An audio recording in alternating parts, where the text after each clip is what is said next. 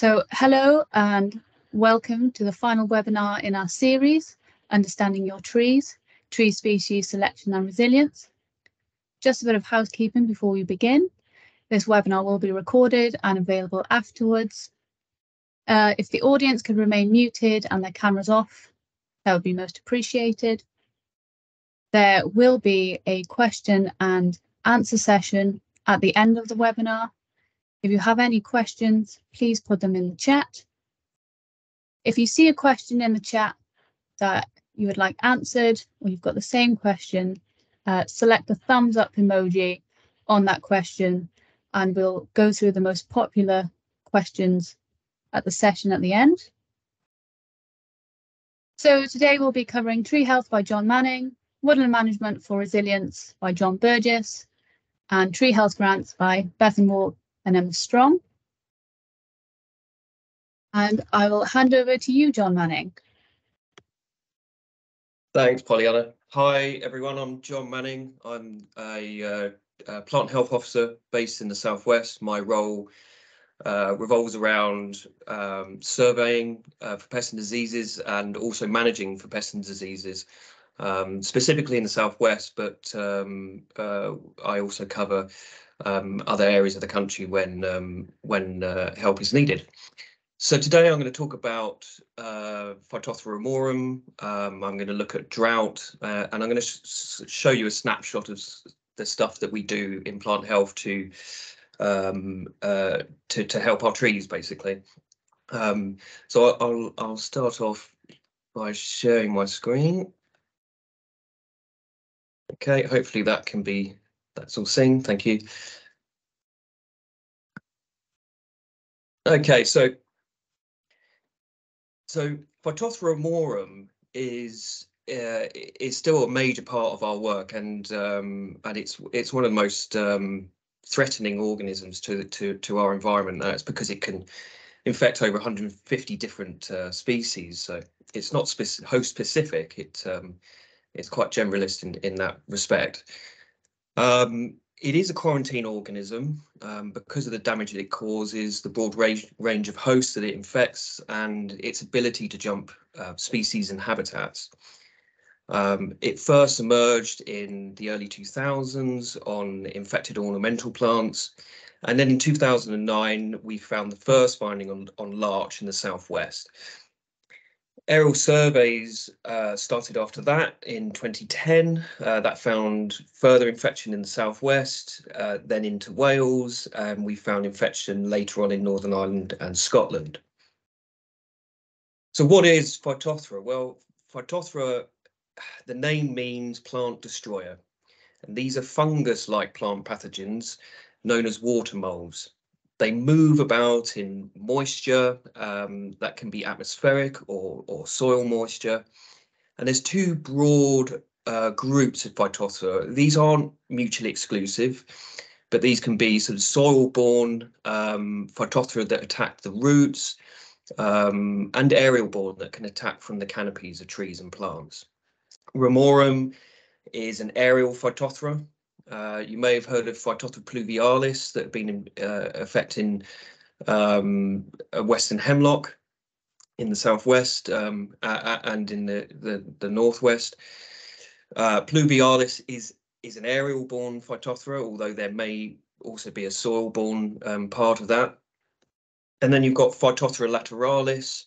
Um, this is a soil-borne pathogen, uh, but it also has an aerial phase to it.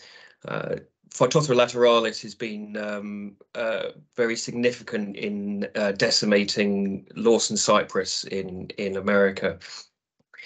The photo here shows really shows the suitability of Phytophthora in the southwest. This this is a picture taken in Cornwall. It shows a deep forest valley that is wet and has high atmospheric moisture. And this is conducive to the movement of Phytophthora spores. It has a mild temp. It, it, uh, it, um, it, it, sorry, the site is also quite mild in its temperature, which Phytophthora ramorum performs best in because exposure to hot and dry conditions appear capable of significantly reducing Phytophthora ramorum uh, populations. In this uh, Forest Valley here, there's um, we found Phytophthora ramorum, Phytophthora pluvialis, and Phytophthora lateralis. Uh, so it really shows um, the suitability of, of some of these environments that we find in the southwest and of course in Wales, um, in the northwest, in the Lake District and in Scotland. Uh, we've also found Phytophthora kernoviae in Cornwall and that's a pathogen of beech and rhododendron among others. So very favourable habitat here for Phytophthora. This uh, the map on the right here is a suitability map of Phytophthora ramorum in the UK. This was created by American scientists in the early 2000s, and it's pretty accurate as our findings match this rather well. The you may not clearly be able to see it, but the yellow dots are targets target sites um, that we surveyed in 2022. The red squares are 2021 findings um, and you can see there there's actually a spread to the northeast and York Moors. It's not as favourable climatically, but there is an abundance of larch there, which is an issue. Uh, and the blue and grey colours are findings going back to 2010. What's not shown is Wales, but it fits very well with the suitability map. So the previous three years we've experienced have been the worst uh, on record, um, with the most widespread infection. Whilst Phytophthora has been present for some time, it really shows it's not stable and it can adapt to its environment. In 2021, it was one of the worst years. We we found we had 573 cases uh, of which 341 were confirmed positive for Phytophthora. The majority of those were actually in the northwest and northeast. Then in uh, last year, um, again, we had a significant amount of um, of suspect sites. We had 374. Um, and with the positives we had 224 but half of those positives were found in the southwest with 112 sites uh, found in cornwall and devon um, and somerset. Then this year the sites of infection have lowered significantly. Um, it's still ongoing the survey season for phytophthora um, but we currently have 235 suspect sites so quite a drop from the previous three years. Um, in the southwest, we've got 69 target sites, and currently only 29 of those are positive for Phytophthora ramorum. The thought behind why this is um, declined so much uh, is possibly the summer drought that we had last year and the early drought uh, that we had this year. Because um, as I said, that the, uh, the drought can uh, affect uh, um, spread and in infection. It's um, um, its uh, uh, potency or whatever. um, but and so basically, the drought inhibits the growth and, and reproduction of of, of. So just looking back to sort of last year, um, symptoms can be striking and widespread. In 2022, in the southwest, we found very widespread infection in mid Devon, West Devon, North Devon, and Exmoor. Um, sweet chestnut.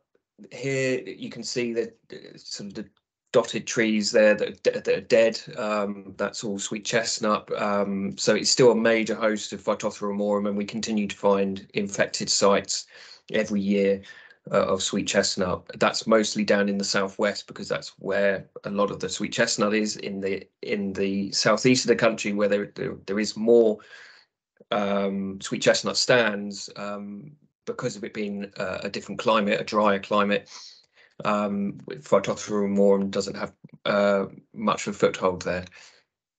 Uh, the symptoms on uh, sweet chestnut, um, here's just a couple here, but uh, you typically get on the epicormic growth, which is the stress response growth that trees or the sweet chestnut grow around the base of the tree.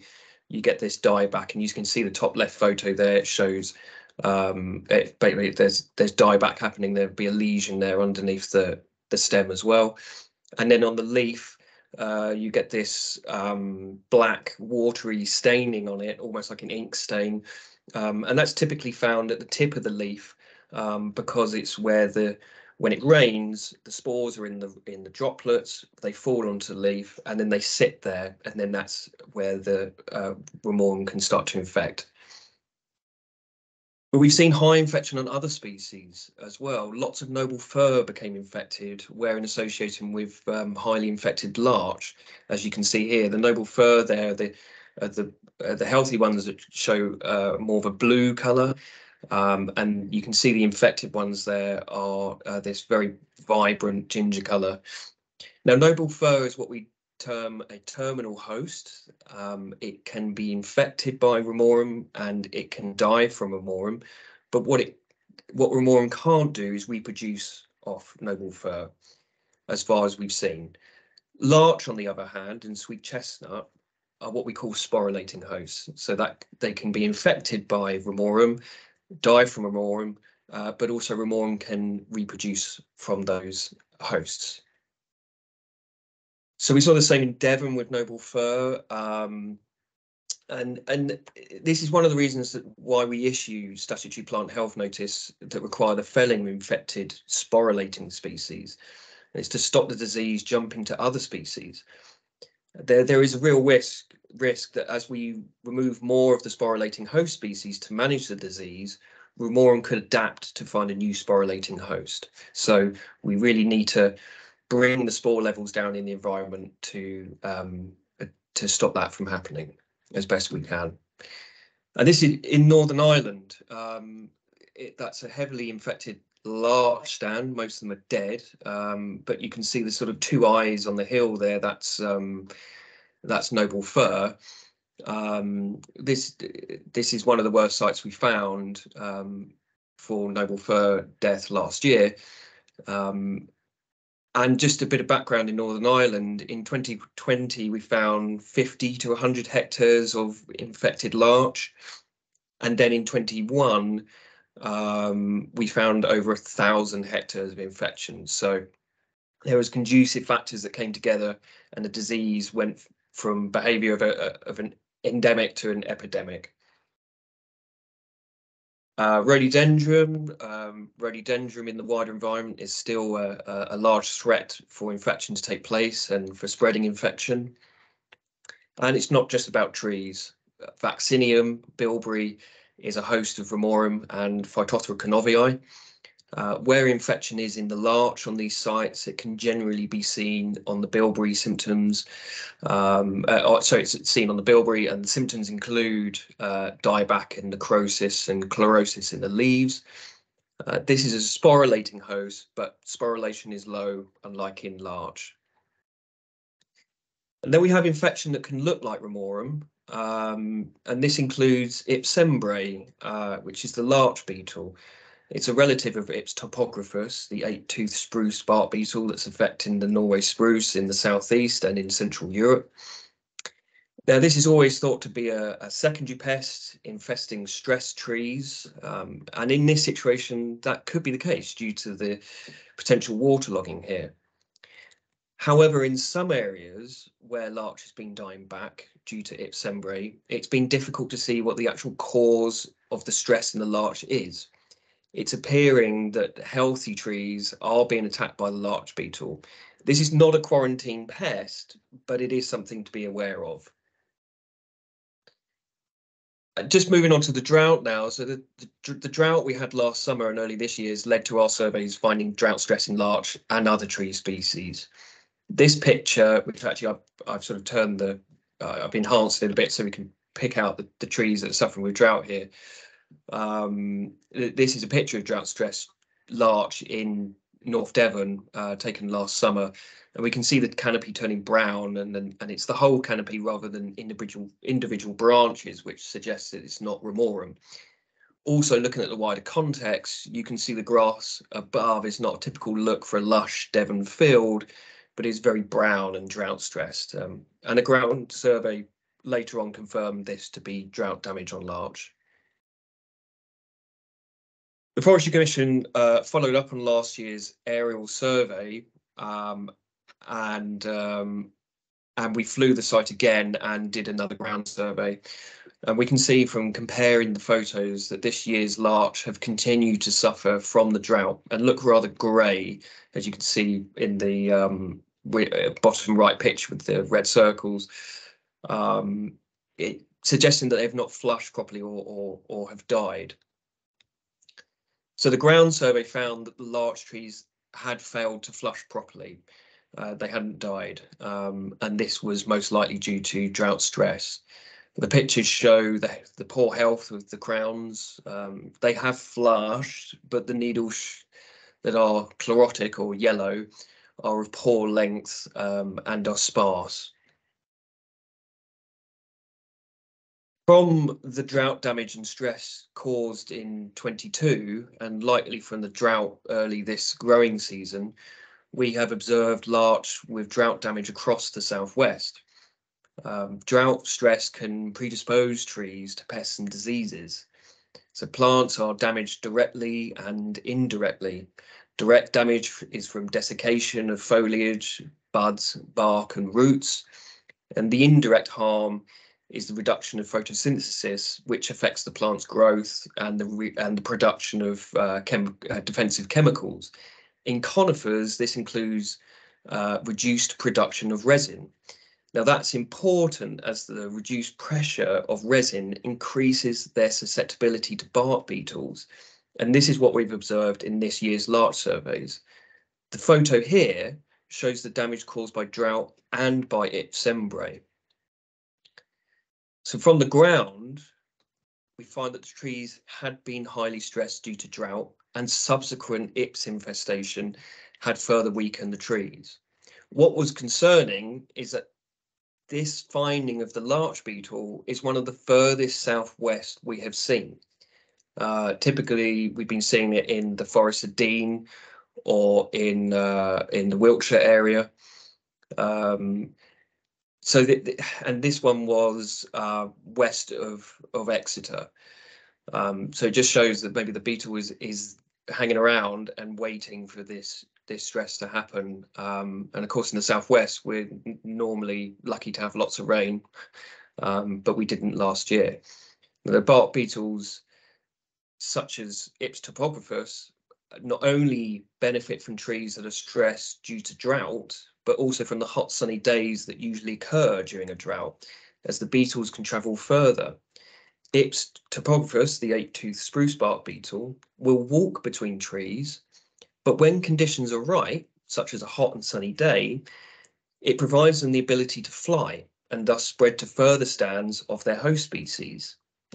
So therefore, the, the stress and the uh, uh, therefore, sorry, the, the trees and the beetles are affected by drought and heat as these factors lower the tree resistance and increase the beetle dispersal. Oh, apologies. In the same wooded valley where the drought stressed and cembrae infested larch are, we've observed drought in broadleaf too. Uh, this is quite a striking photo uh, of an oak woodland um, uh, just further east in that same valley. The picture was taken in August 22 and the effect of that summer's drought can clearly be seen on the oak trees, which are mainly on the ridges where the soil is thinner. The oak here are uh, sessile oak, um, they're old coppice stools that were last coppiced about 80 to 100 years ago. The soil is acidic, poor nutrient, uh, very shallow, uh, and uh, it has minor tree species that include rowan and birch. Um, and bilberry is one of the, the dominant um, uh, ground vegetation uh, on the on the top of the the ridge there. And you can see from this photo, it's it's very extensive. The larch in the bottom left of the photo is also suffering with, drought as well. Um, but we can see the ridges further down the valley um, are, are browning.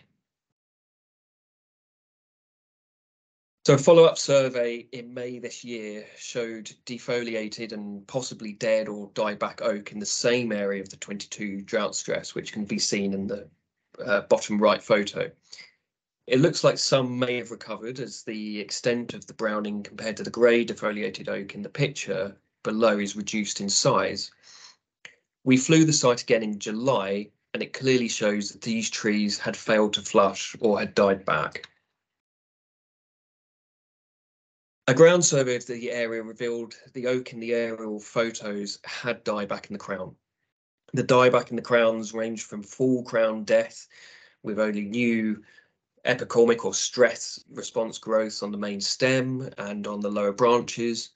And there was branch dieback as well in the crown, um, which also was showing um, uh, epicormic growth, uh, the stress response. Leaves of the epicormic growth, it's most mostly healthy looking, um, apart from some lower growth which had minor powdery mildew. And I sampled three branches from three different trees to have a look at what was going on underneath the bark.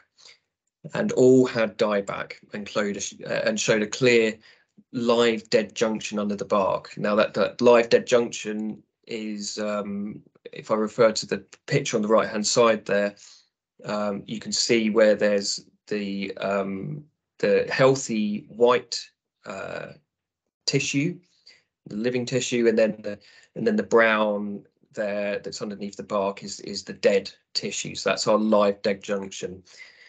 Um, that branch was over two and a half meters of dead wood. Um, and you can see on that photo on the left hand side, it still had last year's leaves still attached. This suggests the branch had significant dieback in a very short period between August 22 and May 23, with uh, which obviously includes a period of senescence over winter that most likely began in early November. The ground vegetation um, is in a fair condition compared compared to last year's visit. However, there were areas where bilberry has died with some regrowth. Now, sessile oak is adapted to hilly regions with moderate water availability, but it is vulnerable to extreme and prolonged droughts that can affect its growth, physiology, and survival. Oak trees can become vulnerable to intense and prolonged drought because they do not close their stomata, which are the tiny openings on the leaves that allow for gas exchange. Stomata also control the loss of water from the leaves, which is carried by xylem vessels from the roots. When water is scarce, the xylem vessels become blocked by air bubbles, which prevent water transport and cause wilting and death. This is called xylem cavitation. Conifer trees, on the other hand, have a different strategy. They close their stomata when water is low, which reduces water loss and prevents xylem cavitation. This is called isohydric behavior. Oak trees have anisohydric behavior, which means they keep their stomata open even when water is low. You might wonder why oak trees do this. Well, there are some advantages to keeping the stomata open. For example, it allows them to, to um, maintain high photosynthetic rates uh, and carbon uptake, which are important for growth and survival. It also helps them avoid oxygen deficiency in the roots, which can be harmful for respiration and nutrient uptake. The oak trees at this site are on a shallow or on shallow soils on a steep hillside, which already limits their water availability and growth. The intense drought of last year and this spring has likely pushed them beyond their tolerance and that's what's caused xylem cavitation. Uh, so just um, the, the topics that I've covered there, uh, basically you can find really good symptoms guides and um, information uh, on the Forest Research uh, website. Um, and you can also report findings there to uh, Tree Alert. Uh, I, just before I, I end, I'm going to show a short piece um, here that highlights what we can do to protect trees. So I, I've been asked in the past about what can I do to help the health of a tree? Well, we are foresters and there is no such thing as a tree doctor. But what we can do is create and protect resilient woodlands by allowing trees to grow in the right places and thrive in the right environment. We can inspect and regulate timber and wood products at ports, for example. Global trade is one of the main ways that tree pests and diseases can spread all over the world. We can carry out effective biosecurity measures, such as just washing your boots and your tools before moving to, to another site. We survey for pests and diseases to identify concerns so that they can be reported and managed. We can prevent infection by using silvicultural practices, such as how and when we manage the forest. For Dothistroma needle blight on Pinus species, it has been found that infection can be lower in heavier thin stands of pine compared to unthinned stands of pine. The heavier thinning, such as the photo in this case, where it's pretty open, um, reduces the disease intensity and increases the growth of the trees. It increases airflow and creates a drier microclimate around the trees, making conditions more hostile for the pathogen. We can prevent infection from Heterobasidion fungus, which is one of the most economically important forest pathogens in mainland Europe and North America, by using urea, which is a uh, type of fertilizer, on cut stumps. We can introduce natural predators of tree pests to bring down populations to manageable levels, like the predator Rhizophagus, shown in the bottom photo here, um, of the spruce bark beetle. And that can reduce populations of the spruce bark beetle in a Sitka spruce stand down to 80%, brings it down to a manageable level. Some types of pathogens can even be weakened by using natural viral diseases of a pathogen. Hypovirulence of Cryphonectria parasitica, which is sweet chestnut blight, weakens and slows down chestnut blight disease by reducing the virulence of the fungus. We can manage pests and diseases by felling infected trees to prevent further infection and distribution and reduce their populations. We can make attempts to eradicate, such as Ips topographus, with the use of traps and grey squirrels maybe. Or we can live in hope. Or we can research for tolerant or resistant genotypes of tree species. But not all pests and diseases are a problem. Native pests and diseases in a natural environment are all part of the natural processes in a forest which contribute to a healthy ecosystem. So we can all play our part in ensuring our forests and woodlands are healthy and resilient. Thanks for listening.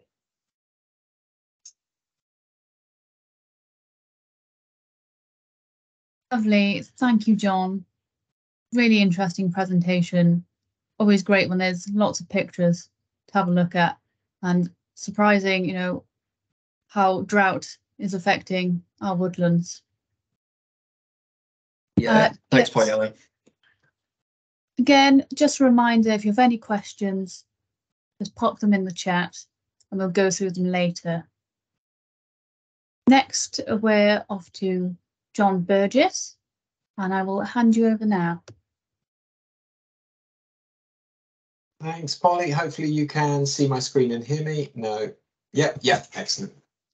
So yeah, thank you, John. Um, we're doing a bit of double act today. John being the sort of the bad cop who's just filled you full of fear, and hopefully I can now, in my half an hour, give you some hope. Um, I'm going to expand quite a lot on the things that John was talking about right at the end there, the actions that we can take as foresters that will help make our woods healthier in the future. I'm going to touch on some of the key concepts of resilience, give you a few facts and figures, think about some tools that help you make a species choice, and then think about how we use those species on site in mixtures. And I'm going to try and do that within half an hour. It's going to be pretty pretty much of a sort of a, a whistle stop tour um, through.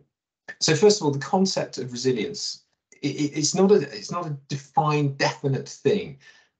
What it is is not resistance.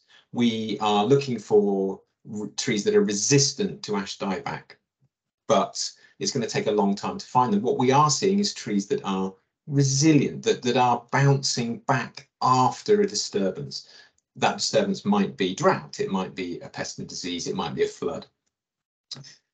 But it's that time that uh, something takes to return to its natural state to recover um, that is resilient in its very essence. Um, we got to think about what is resilient.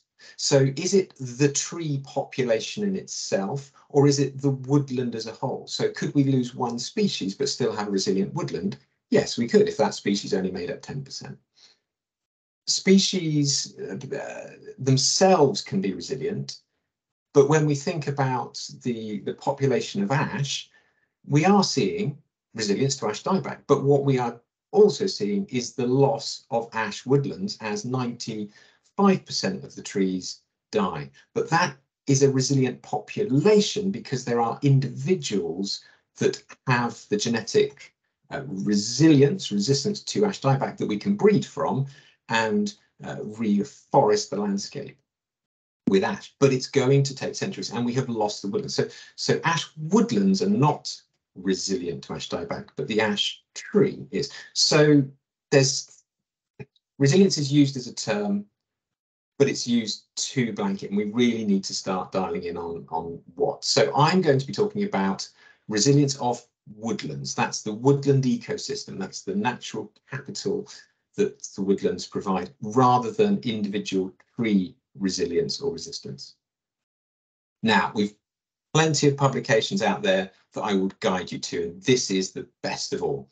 Um, there's a snapshot here which looks at the main risks. So John's touched on pests and diseases and drought, but there are plenty of others. Wildfire, wind throws, storms are going to be become uh, more intense and more frequent. So a range of risks, and then the measures that we can take down the side. Um, and the dark green dots are the ones that are that action is likely to help reduce the risk. The the hollow circles are sort of a may if we take other things and and the cross is ones that just we won't help. I'm going to focus on the top three. Increasing species diversity, mixing those species together and then diversifying the structure within a woodland. These are three things that are, are really known to be, at this, with the information we have now, the best that we can do to help mitigate those risks. So John's sort of touched a lot on disease. Here's another one, just but think about the disease cycle. Many diseases prefer a specific host. Once a tree is infected, those spores will build up and there is then a cycle as the leaves fall to the floor, such as this horse chestnut suffering from Cameraria ohridella. The the leaves, uh, the host to the to the to the larva. Then the moths uh, at the end of the year fly. They'll lay their eggs in, in uh, next year in the leaf litter, and and so that cycle within a woodland just repeats and repeats. And once it's in there, it's really really hard to break that cycle.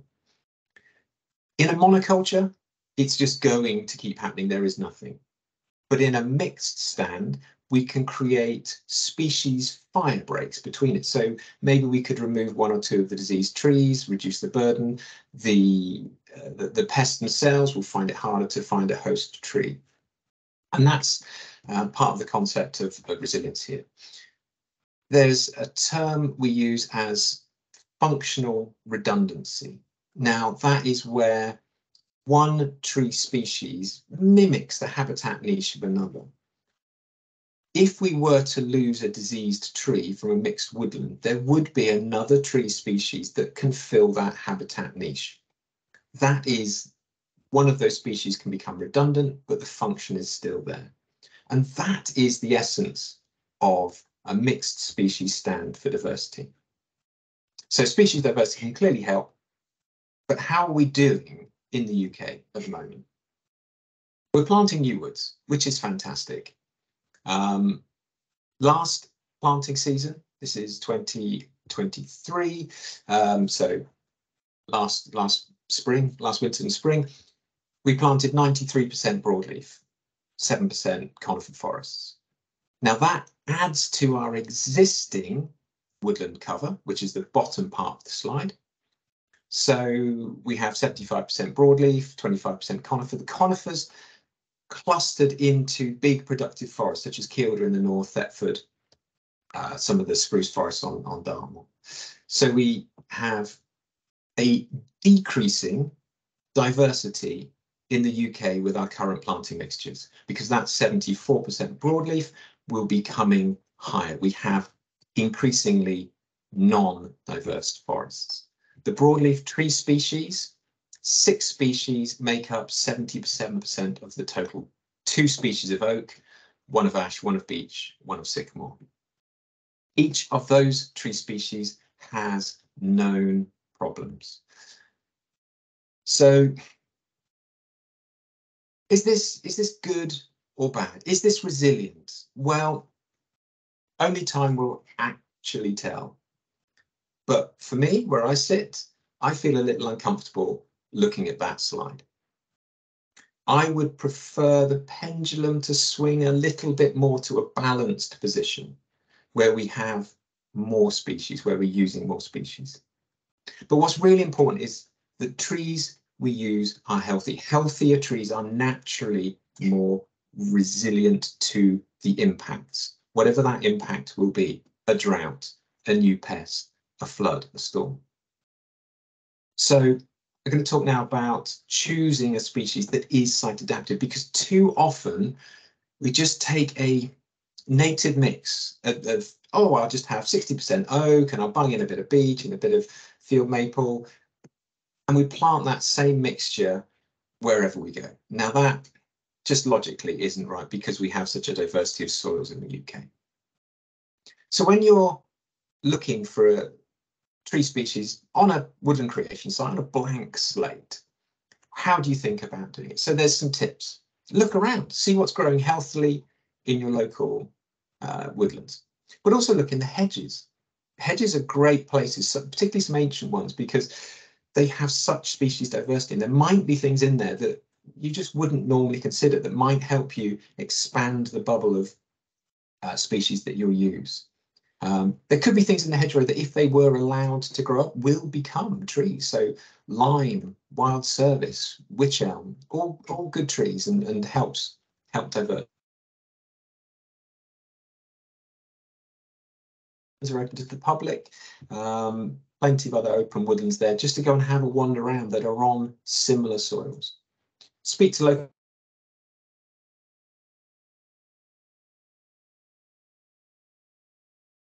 Sorry, John's frozen there. We'll um just give him a couple of seconds, see if he comes back.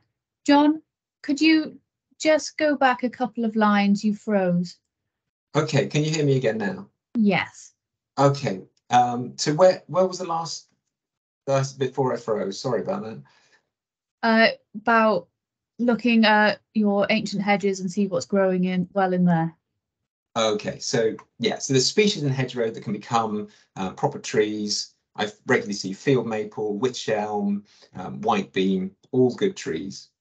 Go and look at other woodlands around that are open to the public go and join local forestry groups for, for visits to private estates that might not be open to the public and ask the people, ask your tree nurseries, they'll have a good handle on your locality. Speak to your Forestry Commission woodland officer and then do some desk-based research. And that's where I'm going to give you some tips now.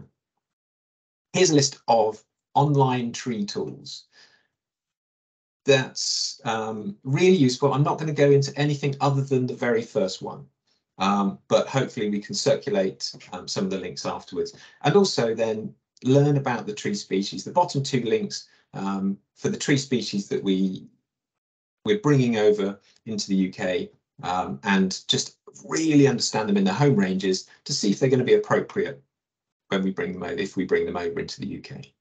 But the top one, ESC, the Ecological Site Classification Tool, free online tool published by Forest Research.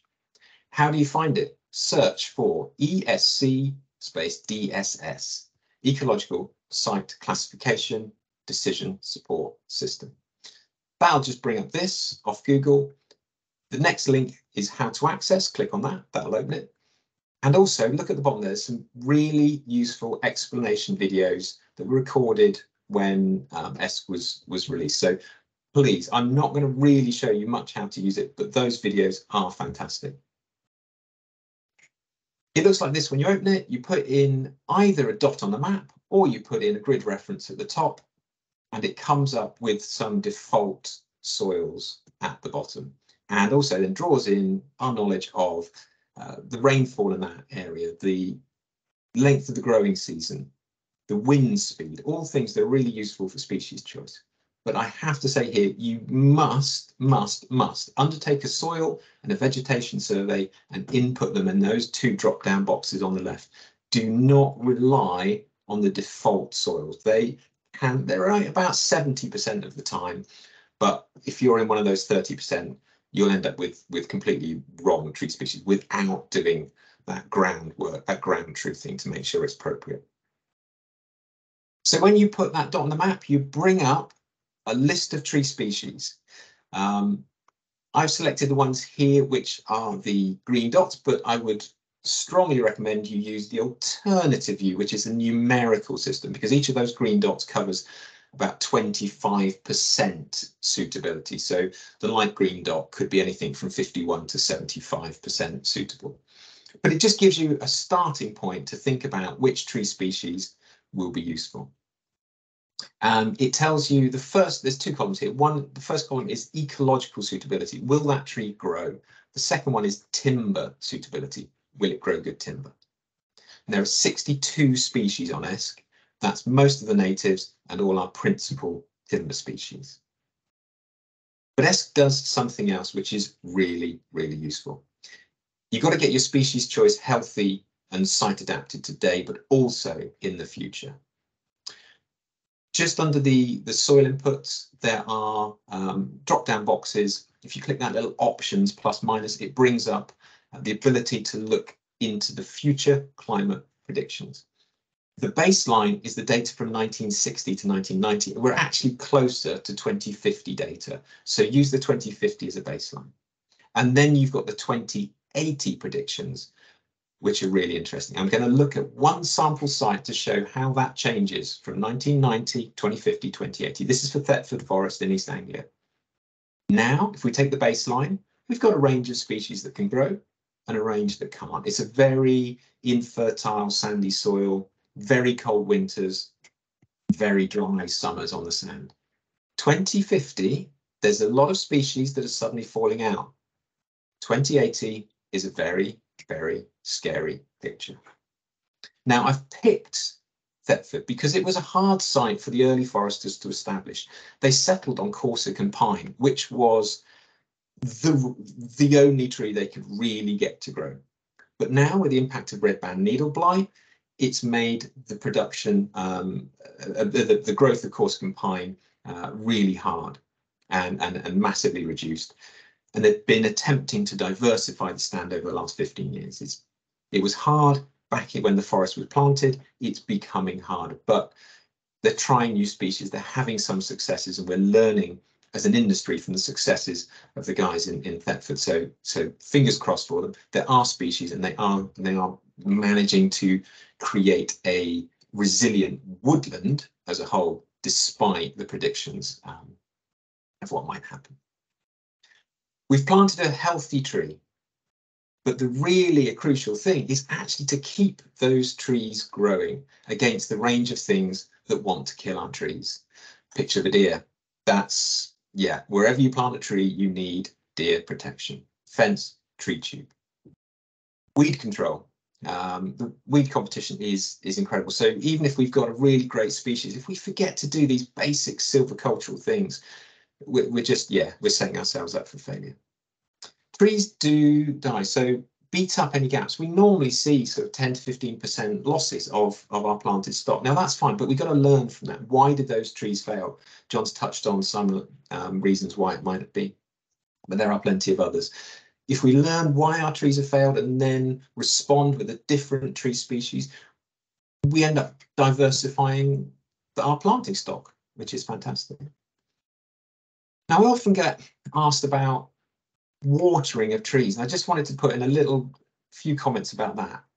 If you've planted trees and a drought comes and your trees die, I'm going to be pretty brutal here and say you've picked the wrong tree. You haven't done your research. You haven't assessed the drought prone nature of those soils.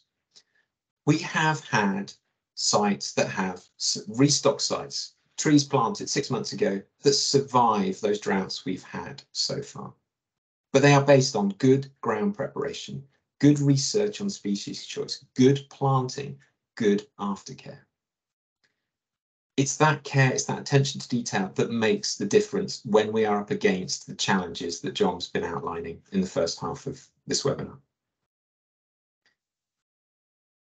Now, we've got species, we've looked around, we've done ESC, we've got a list of species, but if we can mix them together, that enhances the resilience. And going back to that guide, here's a snapshot, the line for uh, reducing the most range of the risks that we are facing is to plant trees in mixtures. Now, that's not easy. That's not something we have generally done in this country over the last couple of, uh, of, of decades. We've become better at it, but we had a period of time where we only planted productive monocultures, and we need to learn the lessons of the past. How do we know what's a good mixture? How do we know if we've got too many species? Because the woodland does need some kind of structure. Uh, and that's what I'm going to just talk on now for a little bit. If we get the species mixture wrong, we can end up with some trees out competing the others and a mixture that will not be sustainable.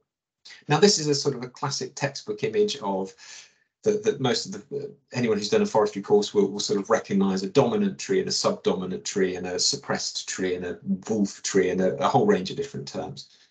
But I've just used the snapshot here to if those species are growing together, we've got four, three, four different species here that all seem quite happy. If the understory trees are shade tolerant, then they'll just be quite happy to sit in the understory.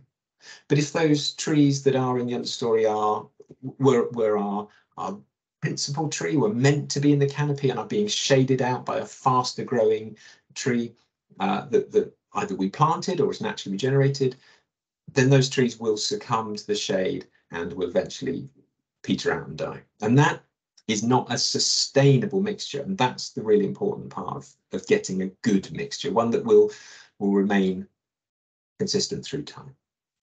So one tool, back to ESC. On the top, rather than going for a single tree species, we can actually choose the NVC type, which is the second option on the drop-down list.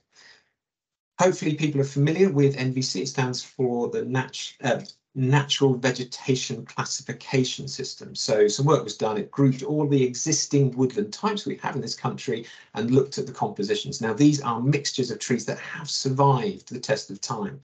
Uh, and that are site adapted because there are there are maps. So we can use them as a really good starting point. When you run ESC with the NVC, you see this. So it's the, the NVC types in a list rather than species type, and those dots that are uh, the indicator as to whether they they will be good or not. And it's the first column, that the suitability, that tells us whether it's a good mix. So here we've got three dark green dots, one for W8, one for W9, one for W12. And I'm going to go into just look at one of those in a little bit more detail, which is W12. So there's a map from the old guy, which is Bulletin 112, Creating New Native Woodlands. Um, still really, really good read, even though it's, it's sort of showing its age now. Um, and it links, and it talks about planting uh, new native woodlands that match the NVC type. Well, here's a map. If you're in the southeast of England or East Anglia, uh, W12 shows up. It's great. But look at, let's look at the species. It's a beech ash woodland. Now, when we run the 2080 predictions for beech in southeast of England, it doesn't have a future. Drought will knock out beech in the southeast of England. It, it needs its its climate envelope is moving north. Ash, well, only a very very brave person would plant ash nowadays as the principal structure. So, looking back to some of the NVC types, they are going to disappear. Our ecology is going to need to change because where we were seeing W12 woodlands, they are just not viable in, anymore. They're just not sustainable into the future. So if we plant woodlands with native species, we are restricting ourselves to a palette of 30 people. It's like trying to paint a masterpiece like the Mona Lisa with a very limited range of trees, of paints, of colours that we can use. The world has 73,000 species of tree that we could use. Just going to just 30 or 73,000. Do we want to stick to native species or do we want resilient future-proofed woodlands? Now, of that, uh, uh, slightly tongue-in-cheek with this slide, of that 73,000, not all of them are going to be suitable. Some are just tropics that will just die with the first frost. Some would grow but not thrive. Think of the trouble the Victorians went to to get orange trees to, to, to fruit and to be healthy. A tiny, tiny handful would become aggressively invasive, and we do not want to introduce those. But please don't, don't conflate the term invasive with a tree that can set viable seed. That just shows that the tree is healthy, it's living out its natural life cycle, and it's site adapted. So of that long list of 73,000 trees, there will be some trees that fulfill the needs that we have of them, that will be suited to our climate, will produce timber, will sequester carbon at faster rates than our natives, will be able to handle the pollution of our cities, will tolerate the salt-laden winds of our coasts, will be attractive in bloom, will create delicious fruits and nuts. After all, we've we've wholeheartedly adopted apple trees and we think of them as native, but they're not. They came from they came from the um, sort of Kazakhstan originally, but we can adopt and adapt and enjoy non-native species. Now, I'm just going to linger on this uh, concept for, for, for a moment longer, if you'll allow me. There are some assumptions made about native versus naturalized versus near natives and neophytes, neophytes being, being new species non-natives are less good for biodiversity. Well, the species, if you create a list of trees based on the ability to, to support biodiversity, the trees that appear at the top are the ones that are longest lived and also the ones that are most common. Now, when ecologists go out and search for rare lichens, for rare bugs and beasties, where are they most likely to find them? The trees that are in our landscape and the trees that are most numerous. This is called confirmation bias. If we actually start to add in the trees that we have knowledge about, Norway spruce, for example, appears about halfway down the list of our native species. So it's just simply not true that non-native means bad for biodiversity. We just need to understand what species we want to support and then bring trees in that will fit that environment. Sycamore fantastic replacement for the lichens that only used to grow on our elm or our ash. If we knock out sycamore, we are losing rare lichens. If we import non-natives, we'll bring pests and diseases. Well, if we are bringing the seed and the trees from overseas, then possibly, John touched about the biosecurity and the need to, to inspect the ports. But if we take the seed from seed orchards of trees that are already in the UK, then there is significantly less risk. We're only moving pests within the UK rather than bringing them in. The last time we knew that there was significant new pest imported, oak processionary moth was brought in on a native oak tree. So the use of a native or non-native in pest and disease is less relevant. That non-natives are less well adapted to our climate. Ah, it's just it's it's a really difficult because our climate is not what it was and it's changing. So the trees might be adapted when the oak tree that's outside my window that's 100 years old started growing, we had the climate of 100 years ago. How can that be adapted to the climate today, which is drier, it's windier, the rain falls in different patterns? We can, the climate envelope is moving northwards. If we bring the species to where the climate is that they are suited to. This is called assisted migration. It's doing what trees have done naturally for centuries, for millennia. They move as the as the ice sheets uh, retreat and progress. Trees show genetic adaptation adaptation to drought and to frost, but not both at the same time. Our trees are adapted to frost, but that's becoming increasingly less common but adaptation to frost means they're less likely to be adapted to drought. And here's a picture John showed you. Are our native trees naturally more resilient? Well, no. Here's some oak trees dying of drought. So it's you have to have trees that are adapted to the site. Okay, mixtures. I'm going to speed up a little bit now. Um, I'm getting a dirty look from Polly for, for overrunning. Um, if we go back to ESC, there's a really helpful way of looking at uh, at starting some resilient mixtures. It's the next one down on that drop box. It's forest development types, FDTs.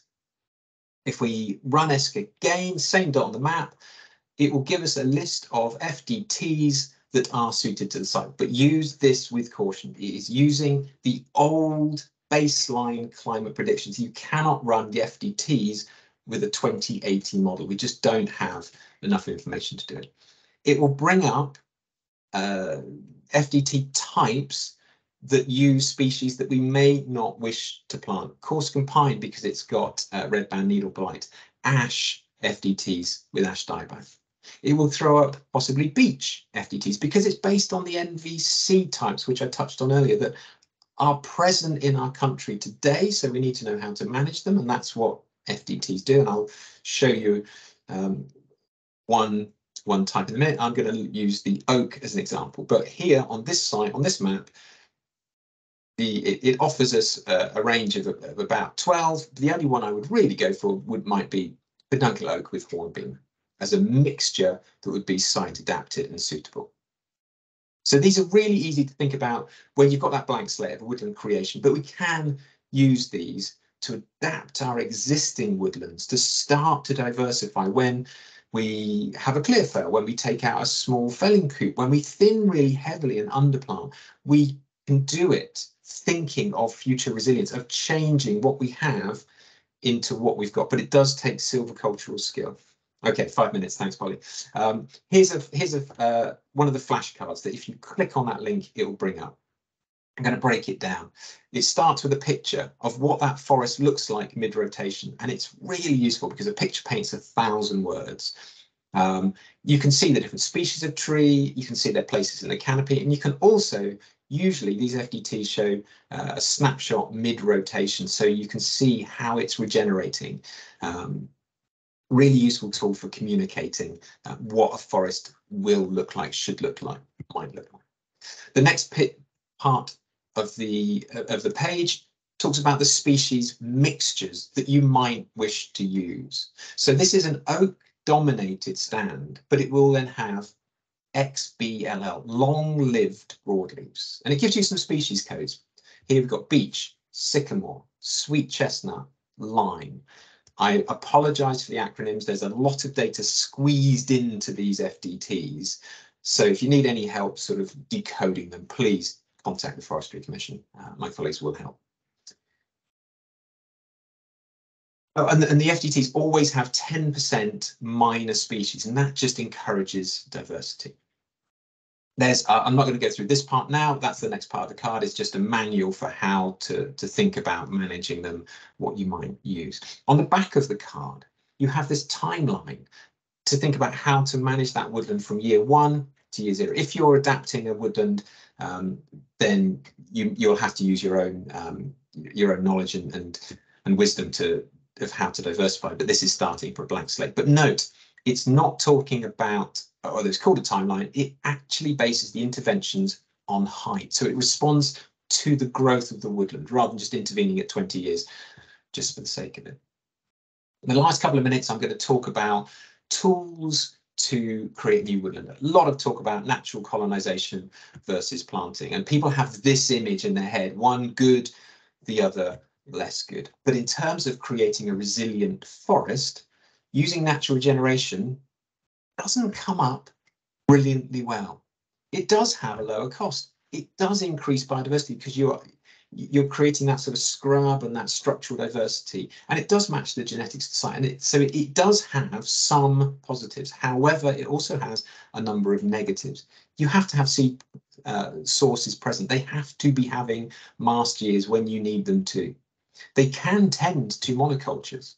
They are at risk from weeds and they are very very at risk from deer if you don't protect it so that's why natural generation comes up as a sort of a a 50-50.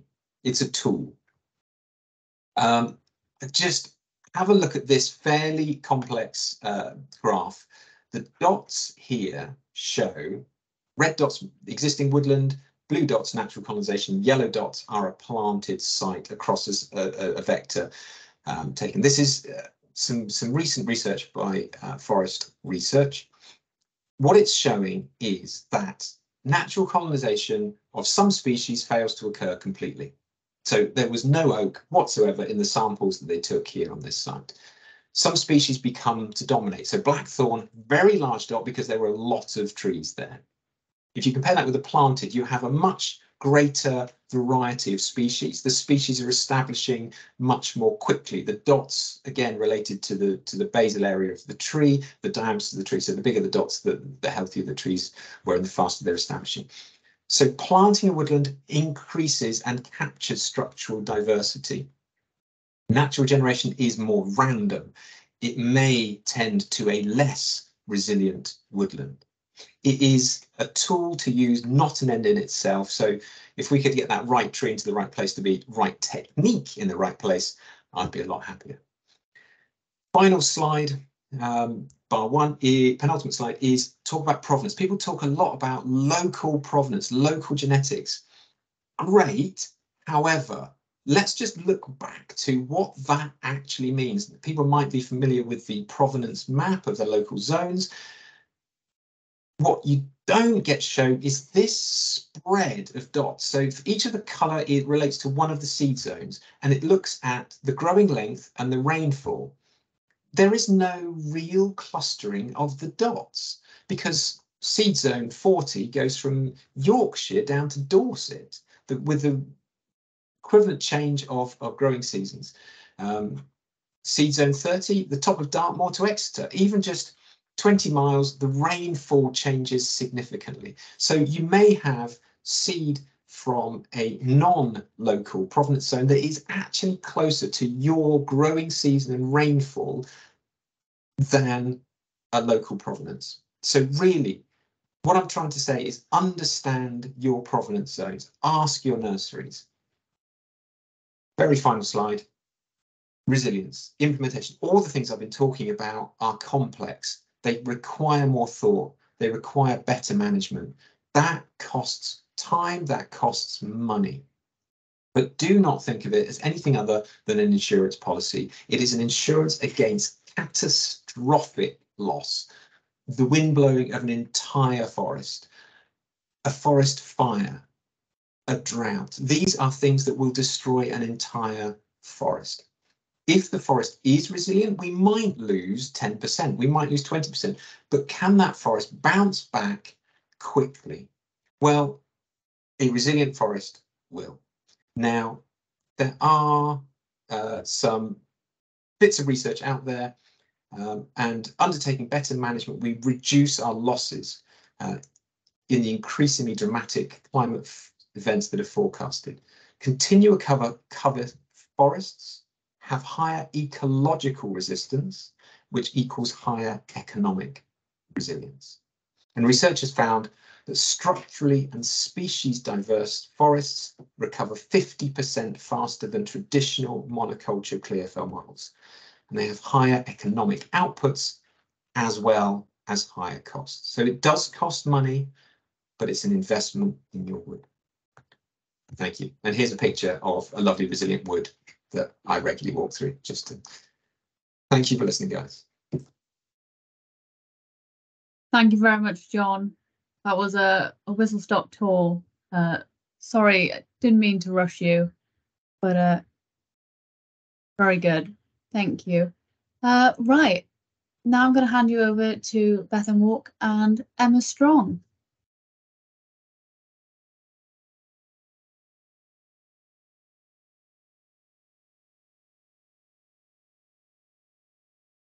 Oh, we've got a bit of a lag.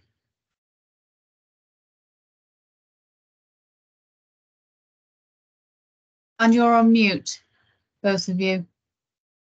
Can you hear us okay? We can hear you now. Screen sharing okay? No, No, okay.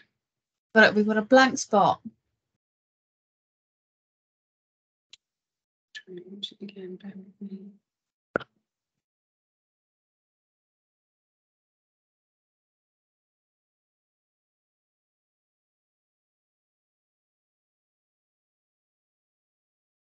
Bear with us a minute.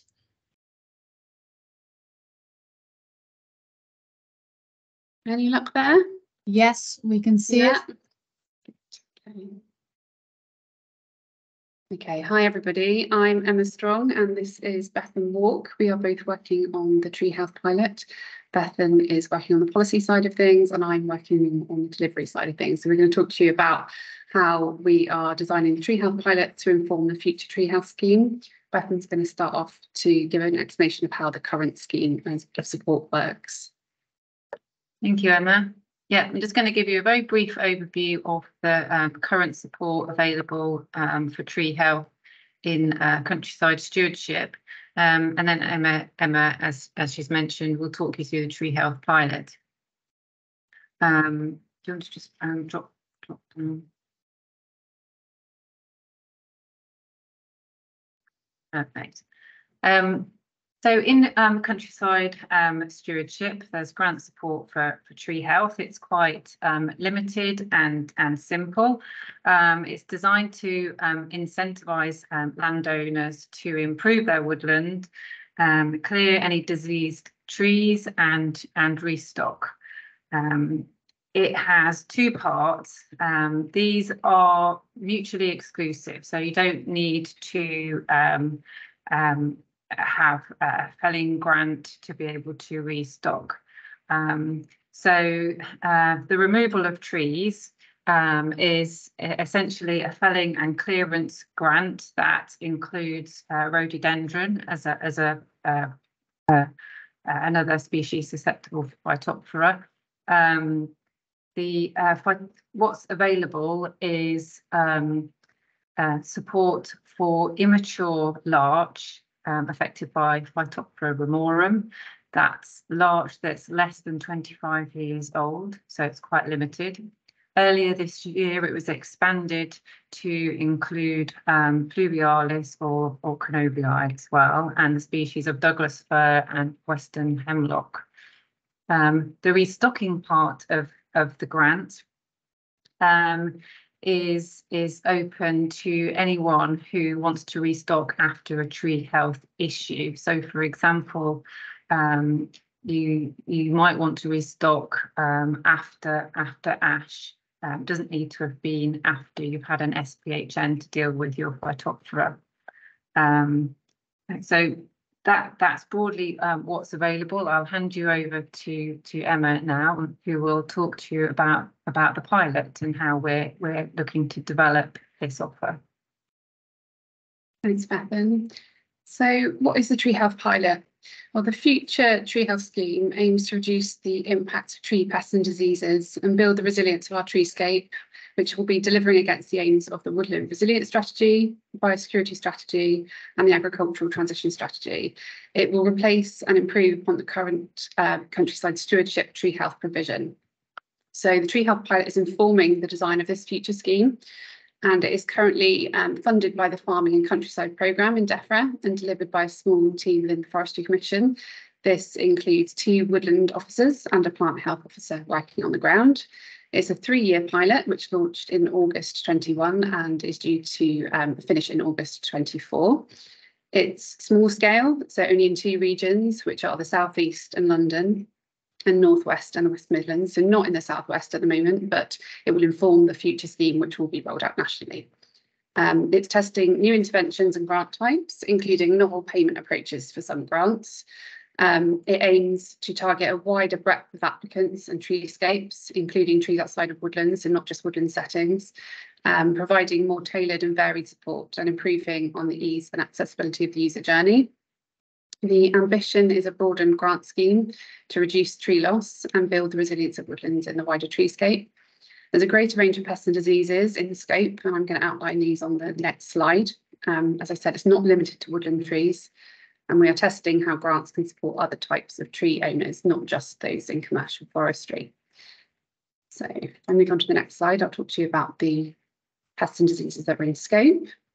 So there's grant funding um, support available for larch with Phytophthora ramorum, oak with oak processionary moth, which is an issue in the southeast in London, um, spruce with Ips topographus, spruce bark beetle, ash with ash dieback, and sweet chestnut with either sweet chestnut blight or Phytophthora ramorum.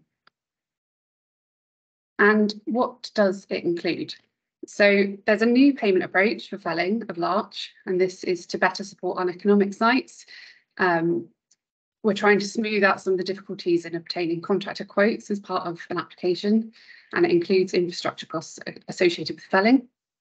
There's um, an SPHN advice package to support less experienced owners, and this will fund um, the um, as an agent consultation and a biosecurity package.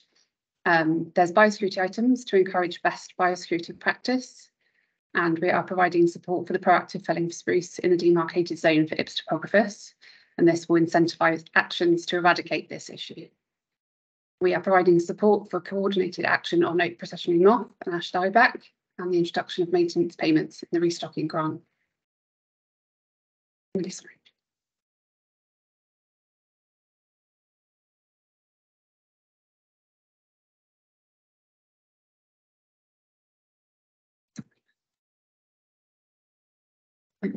Yeah, sure. Um, so how are the um, lessons um, being learnt? Um, how are we feeding uh, in the outcomes of the pilot into the development of a, of a, of a new grant? Um, so the pilot was launched back in um, 2021 um, and the, the learning from the first year informed uh, changes which we introduced in February this year. Um, the evaluation is being led by Forest Research um, and also involves the University of Gloucestershire, the Sylva Foundation and the Tree Council. Um, the evaluation is assessing um, whether and how far objectives are being met um, and the intended outcomes realised. Um, and that's to identify areas where the design of the pilot might be improved um, before moving into a into a full scheme.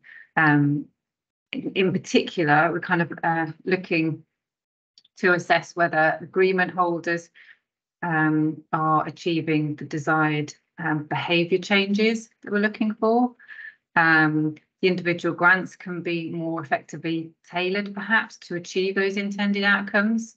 Um, um, you are we are we reaching the right type of agreement holder um, and the locations um, of the of the their holdings? For example, um, trying to attract um, people to act who maybe have smaller woodlands or maybe uh, trees outside woodlands. Um, and we also want to assess whether the advice and guidance meets users' needs. Um, and based on the interest and uptake of the pilot, um, we want to see if how how and when that could be um, scaled up. Um, so this is an extensive evaluation framework which is being used to, to steer the, the co-design, um, looking to, to launch it nationally um, from approximately kind of 2025 onwards, but that's very much uh, a date to be to be confirmed. Um, so further information can be found available online. So we've got our scheme manual on the Tree Health pilot on that bottom link and the current Woodland Tree Health grants available on the top link. Thank you very much for listening and I think we're going to take some questions at the end. I'll hand over back over to Polly.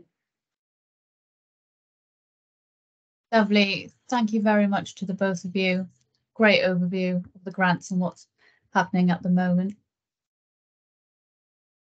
You just stop sharing your screen. We'll move on to a question and answer session.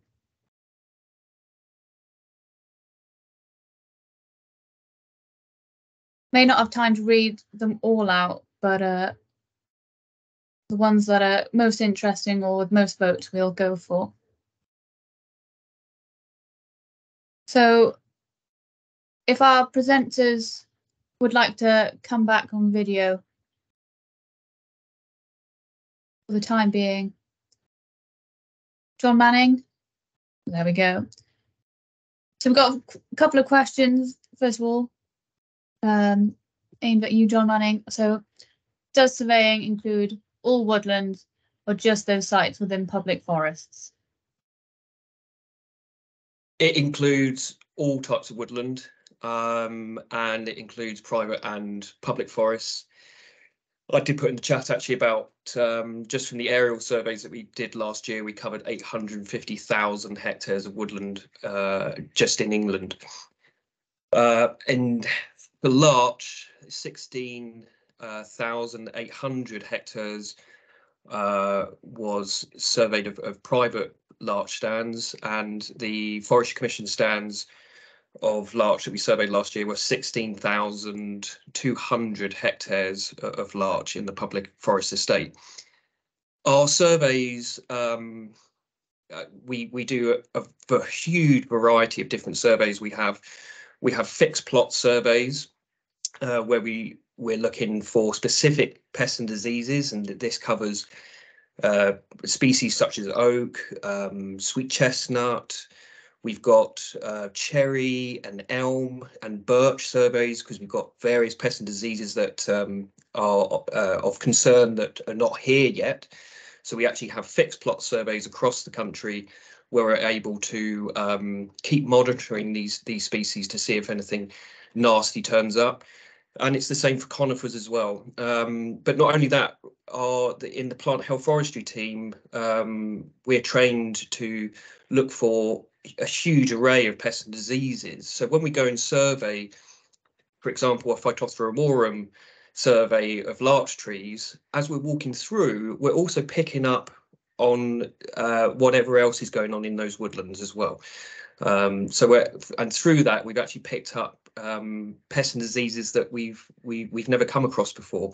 I mean, Phytophthora pluvialis on western hemlock was found last uh, found two years ago. We weren't surveying western hemlock. We were surveying uh, for another. Uh, uh, we were surveying another species, um, and um, and that's picked up um, by a plant health uh, forestry manager. Um, so we're always just being we've always been vigilant um, and looking out for new new pests and diseases, whatever species in whatever type of woodland, and whoever owns that woodland. Thank you. And does European larch have a future part to play in the southwest opposed to Japanese larch or hybrid larch?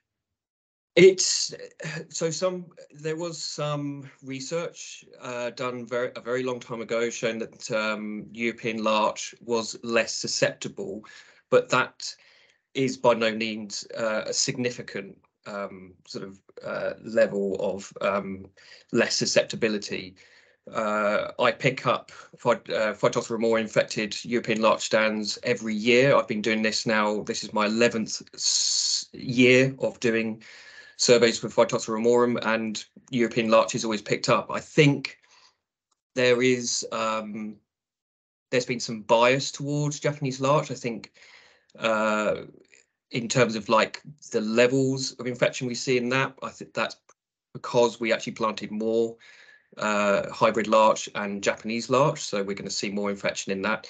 Uh, but I do also think personally that um, misidentification between the species of larch trees has led to um, uh, potentially more findings on Japanese larch, where actually they're they're not Japanese larch, they're actually European larch, um, and it's just misidentification. But I would say that if you were to go ahead and plant uh, European larch in the southwest, um, you know, you do it with a very high risk that they will get Phytophthora ramorum. They're by no means um, tolerant to it. Lovely. Thank you. Uh, we'll just scroll down a bit um, and mix it up a bit. Um, so you did touch on this, uh, John Burgess, in yours presentation, but should we source young trees from southern nurseries or even European ones rather than relying on nurseries in northern England and Scotland? Yeah, that's that's it's a really astute question. Um, when you when I speak to people, they say I'm I'm using a local nursery, and then my next question is, yeah, but where are the trees coming from? Because a local nursery may be sourcing their seed from the Midlands. Um, I'm based in the southwest of England, so that's you know moving quite a long way north. Or you've used a nursery in in the Midlands that's taken its seed from from the, the very north of England, from the Scottish borders. So without knowing where the provenance of the seed has come from, it's yeah, it's really so so the location of the nursery is is less relevant. It's the genetic origin of the material you're using. Now, on the south coast of England, in the southeast, you look at the climate projections.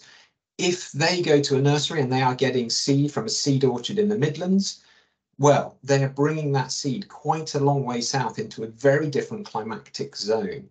If the if they can't find their you know seed that is from their site or, or very nearby. So where you're faced with that choice of do I get seed from further north or do I get seed from genetically further south? Well, all the science points to using your very local provenance or to look south. The worst thing you can do is to look north, which in the south of England is a very, very real problem. Hopefully that answers the question. Another question, if trees move and adapt, why wouldn't they adapt to drought over time if this is becoming more relevant? Yeah. Oh, Question Can I just say you. one? Can I just say one thing there? Actually, on um, trees are adapted to drought, um, and they have strategies in their biology with how they um, they deal with with drought. So, like I said, in in terms of the oak, they actually keep their stomata open. They continue to um, to photosynthesize.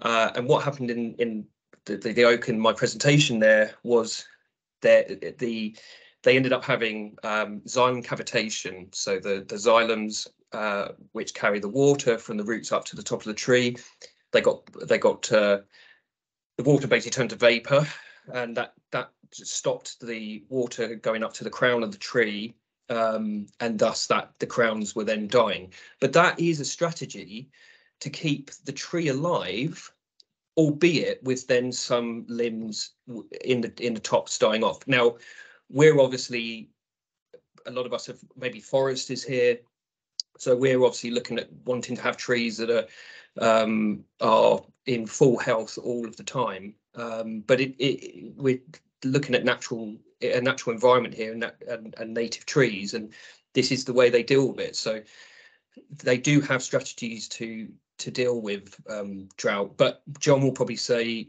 you know, pass over to John here, but you know that more, some species are more adapted to drought or more tolerant of drought than than others.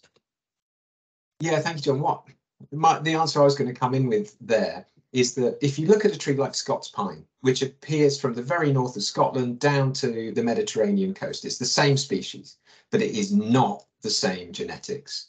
If you take a Mediterranean Scots pine and, and one from the Caledonian pine forests and grow them, they would look identical. They would be the same tree, but one is drought resistance because it has adapted for centuries, for millennia to a more southerly climate. One is frost adapted. It has, it can deal with snow. It can deal with um, the predators of the things that will eat its seed because they are different from the um, from the tip to the mouth. So, so we have to look at different genetic populations, and the flow of those occurs over time. So our Scottish Scots pine uh, is has the same DNA as Iberian Scots pine on the west coast of Scotland. On the east coast of Scotland, that came from Ukraine.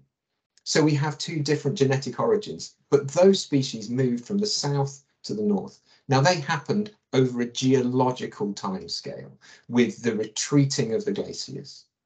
Climate is moving so fast at the moment that tree species now, I'm going to stick with Scots pine. Scots pine doesn't seed until it's about 80 years old to set viable amounts of lots of seed. If we are interested in using uh, the genetics of Scot pine, we have to wait 80 years for a tree that has been selected by today's climate. That's the little bit more drought than we've had in the past, a little bit more uh, deer, pre deer browsing pressure, the little bit more uh, rainfall in the winter It's going to be 80 years before those genetics can then re-express themselves, at which point we might have a, a catastrophic drought in uh, 50 years time in in in 2070 that will knock out a non-drought tolerant Scots pine.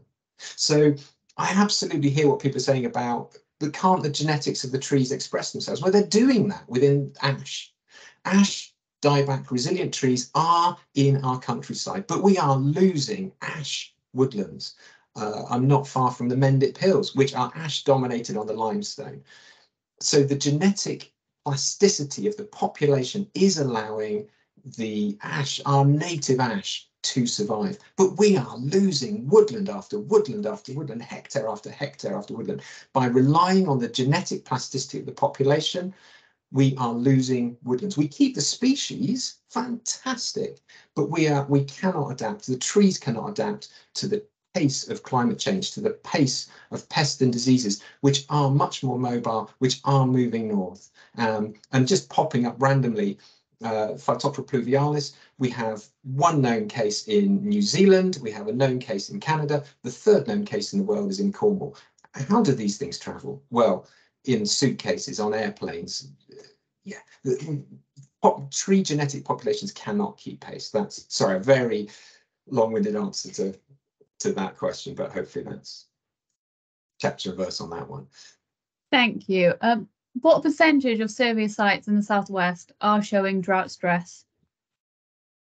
Um, I don't know because I haven't number crunched it yet. It's been me that's been finding these, um, so uh, bear with me, and I can um, I can let let whoever know um, who who wrote that. So okay, let's move on down. Oh, Polly, can I just jump in? Um, someone's Yes. put a little a little note about ash regenerating within seven to fourteen years. There's one thing that's also really worth pointing out is we have a very, very fragmented landscape. Those population genetic flows work really well in large scale forests like we have uh, across most of Europe where you have 30, 40% canopy cover. We don't have that. Our ancient woodlands are very fragmented, very disconnected. That that population genetic flow is also a problem in England. When we have more woodlands, when we have 20% canopy cover, those process, those natural processes might be kick-started. But they just, they're, they're, yeah, they're trying to do that with one hand tied behind their back as well. So yeah, just wanted to, seems like a, a, a logical flow through to that question. Sorry for interrupting. With with ESC, what are we currently using? Um, it says to use the 2050 climate scenario, but what do FC recommend? Yeah, I'd I'd recommend looking at the, the baseline data, which is is really robust. It's yeah, it- it's what we know the trees are definitely doing. 2050 is a prediction, but we are on track to hit pretty much the 2050 climate projections, uh, the way the climate is warming. So so I would look at both. Uh, and if and if a tree is falling out by 2050, then probably don't use it.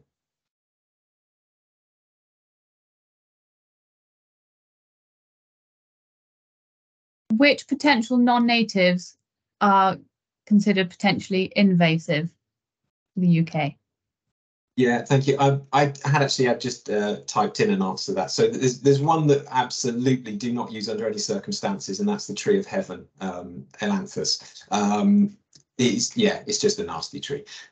If if we look, there there can be some trees that are um, invasive on certain habitat types. So we know, for example, that maritime pine is really good at invading heathland.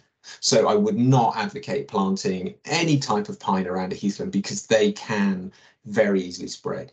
And, and it's kind of that sort of thinking that, you know, you, are- you plant one tree in one place, it's not going anywhere, but you plant it in a different place and it can invade its, its surroundings. It can invade ancient woodland. So um, oaks can sort of hybridize with, with the native oaks and that we then water down our own genetics, which we need to protect. So there's no definite answer. I wouldn't just rule out some tree species and rule in others. It's site specific.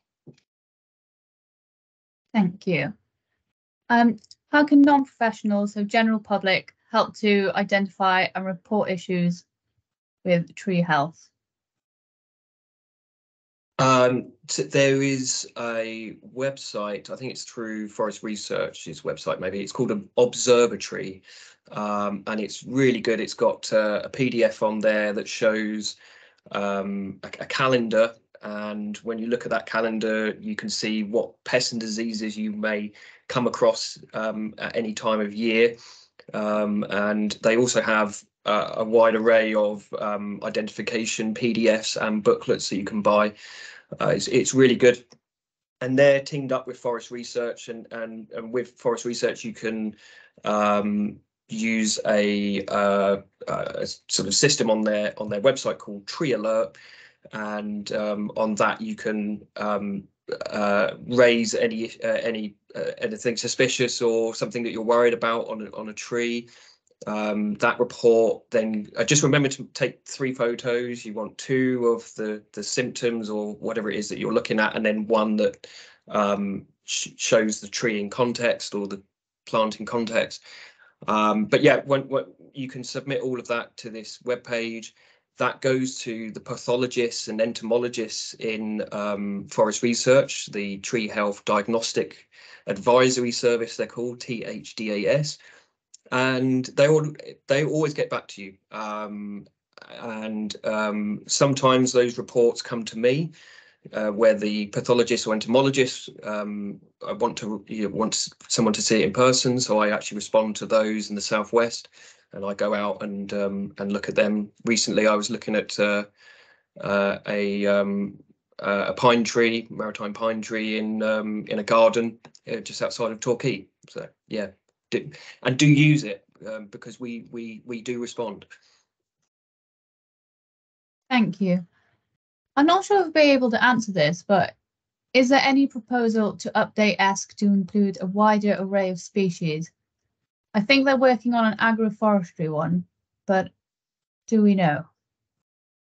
There's a lot of uh, updates been done to us. So if, if you if you look at what it used to be and what it is now, you know, there are people working on it all the time behind the scenes. The next big update will be a user interface to make it just easier to to get information out of it. But there's there's huge amounts of stuff in there that it's only when you start digging. So we know there is a need for more tree species, but to add a tree species to ESC, we have to know how it does everywhere from the tip of Scotland down to the tip of Cornwall and everywhere in between. So until we have enough information about how those species grow, and that only comes through doing species trials, and species trials take time because we're talking about long-lived organisms here. It's not just, oh, I put it in and it survived five years later, fantastic. No, it, it, takes 50 years to sort of see how that tree's grown over a cycle. So uh, yes, there is there is, is, is a real ambition to, to add to tree species, but it's not quick, is not easy. And ESC is, is being developed and worked on and improved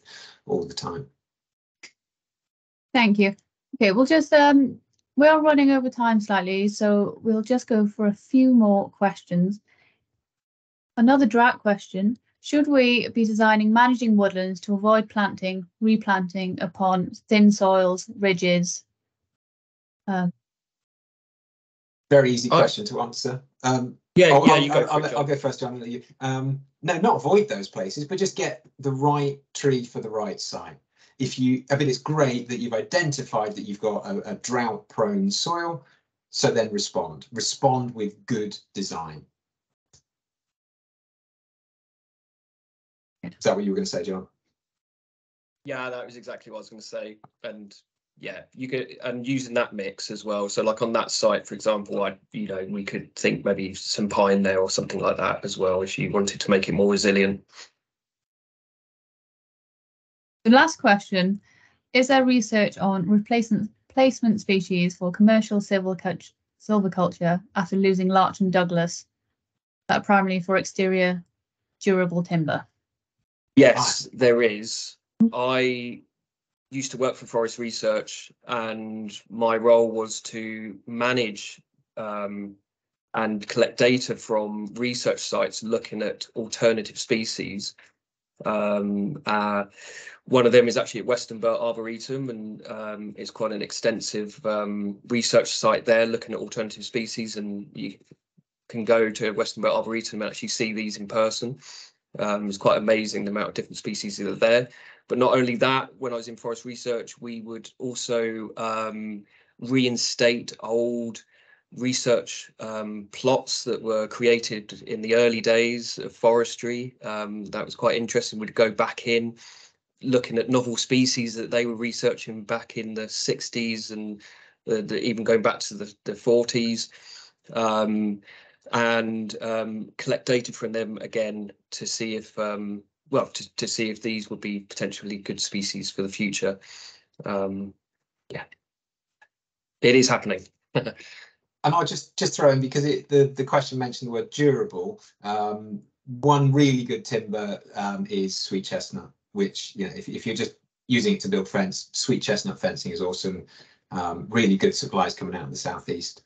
Um, there is also uh, Robinia, there's there's been some uh, chat about invasiveness of Robinia, but if you can get uh, fencing material made from, um, or it is an incredibly durable timber, whether or not we want it growing in this in this country is we need to be a little bit careful with that one. Um, but the timber is fantastic, no question about that.